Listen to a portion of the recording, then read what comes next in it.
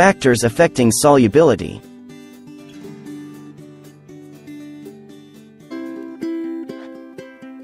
Learning is fun with K-12 lessons. Don't forget to subscribe! What I know. Which of the following describes solubility? A. The ability of liquid to change color. B. The ability of something to dissolve in a liquid. C. The time it takes for something to settle at the bottom of a liquid. D. The speed of pouring a liquid out of a container.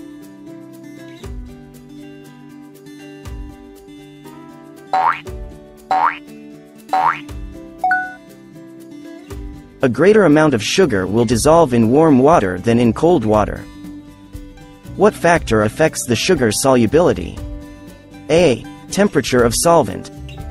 B. Amount of solute. C. Nature of solute. D. Manner of stirring.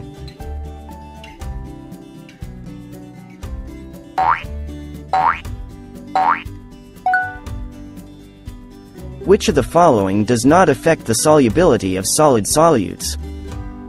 A. Volume of solvent. B. Stirring. C. Temperature.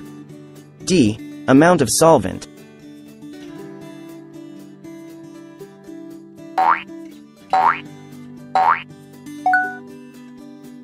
A gram of salt can be dissolved in 100 milliliters of water. What factors affect the solubility? A. Amount of solute. B. Amount of solvent. C. Size of solute. D. Manner of stirring.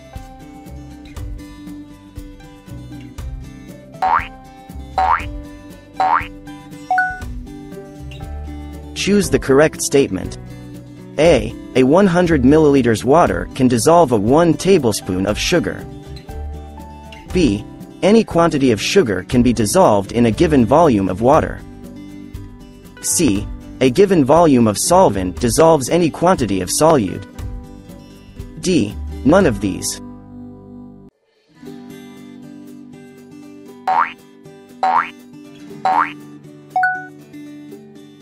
Identify the factors that affect solubility for each sentence. Choose your answer inside the box. When the solution is heated, more solute will dissolve in the solvent.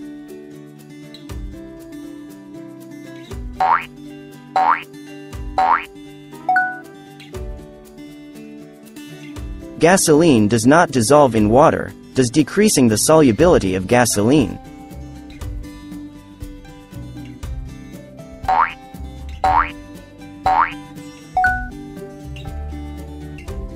When 2 tablespoons of sugar are added to 200 milliliters of water, more sugar particles are dissolved as compared when the same amount of sugar is dissolved in 50 milliliters of water.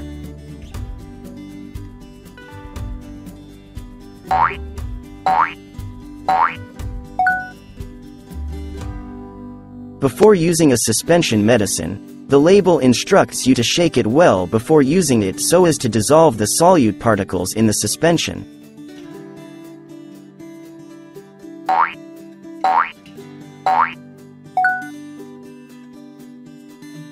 More fine salts dissolve in water as compared to table salt mixed in water.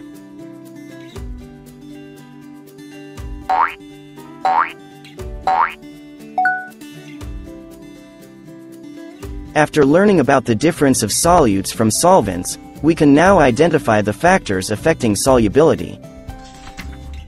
Put a check mark whether the given solute is soluble in X if it is not soluble in the given solvent. Salt and water.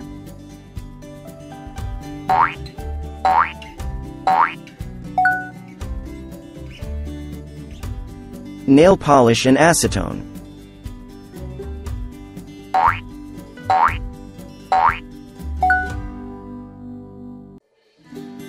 Paint and water.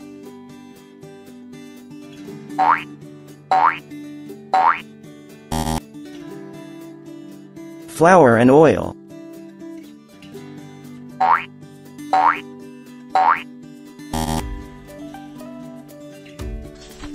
Using the illustrations, identify which of the following substances can be dissolved in water.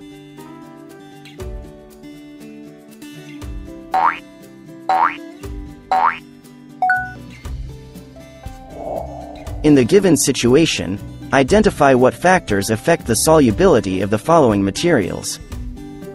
Choose your answer inside the box.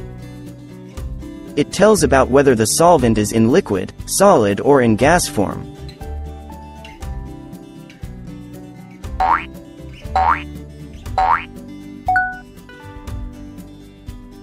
It depends on how fast or slow mixture was stirred.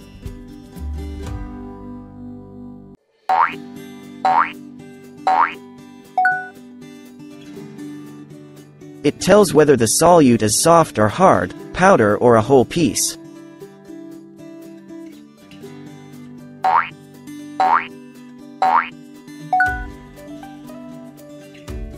It tells how hot or cold is the solvent mixed in a mixture.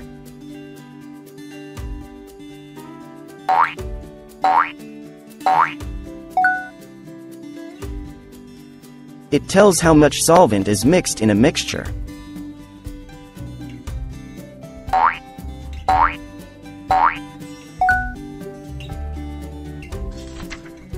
Solubility is the maximum amount of a solute substance that will dissolve in a given amount of solvent at a specific temperature. There are different factors that affect solubility. The following are Nature of solute and solvent Temperature of solvent Manner of stirring Amount of solvent Size of the solute The effect of nature of solute and solvent on solubility Solubility of a solute in a solvent depends on the nature of both solute and solvent. Example Salt dissolves in water. Nail polish dissolves in acetone. We cannot dissolve nail polish in water but water can dissolve salt. The effect of temperature of solvent on solubility. Temperature affects the solubility of a solution. Raising the temperature will increase the solubility of a solute in a solvent. Example the hot water dissolves a medicine easily than cold water. The effect of manner of stirring on solubility. Stirring affects how quickly a solute dissolves in a solvent. In the absence of stirring, the concentration of solute will be highest close to the pieces of solute, so more solute won't dissolve into the solution until it is stirred. The solute will dissolve faster by diffusion. One important concept of solution is in defining how much solute is dissolved in a given amount of solvent. This is called concentration. If the solution has small amount of solute it describes as a dilute, while concentrated describes solution that has a lot of solute in a given solvent. There is only a certain maximum amount of solute can be dissolved in a given solvent. This maximum amount is called the solubility. Choose the letter of the correct answer. To make a solution, you need a blank. This is the substance that gets dissolved. A. Solvent. B. Solute. C. Matter. D. Suspension.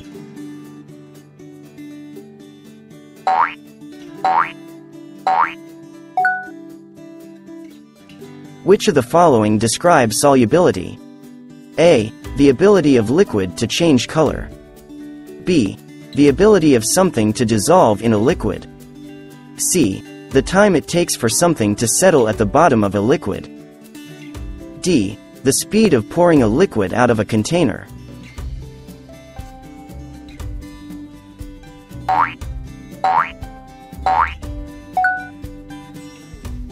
A greater amount of sugar will dissolve in warm water than in cold water.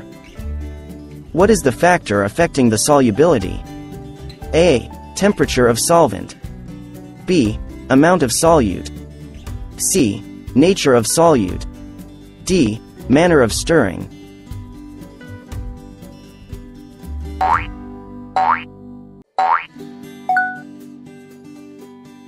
Which of the following does not affect the solubility of solid solutes? A. Volume of solvent. B. Temperature. C. Stirring. D. Amount of mixture.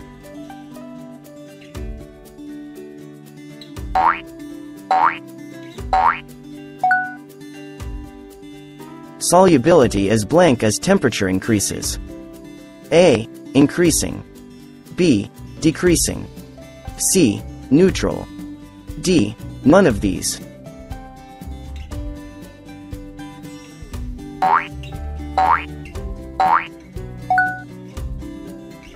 Blank is one of the factors affect solubility and it depends on how fast or slow mixture is stirred. A. Manner of stirring. B. Temperature. C. Nature of solute. D. Volume of solvent.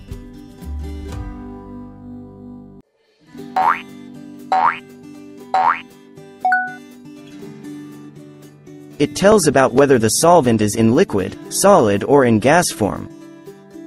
A. Manner of stirring. B. Temperature. C. Nature of solute. D. Nature of solvent.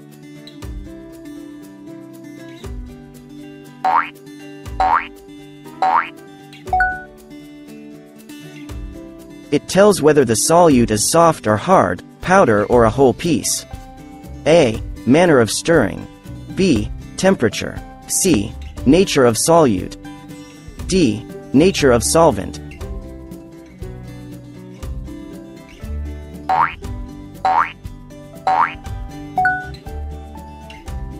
It tells how hot or cold are the solvents mixed in a mixture. A. Manner of stirring. B. Temperature. C. Nature of solute. D. Nature of solvent.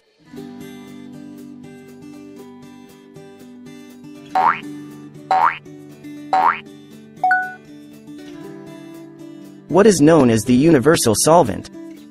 A. Water. B. Acetone. C. Vinegar. D. Soy sauce.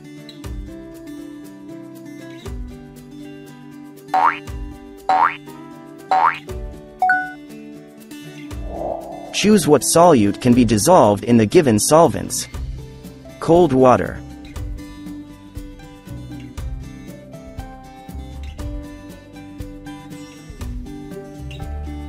Alcohol.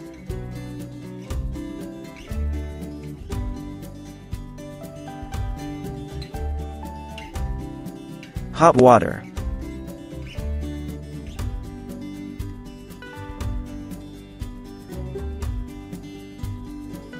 Vinegar.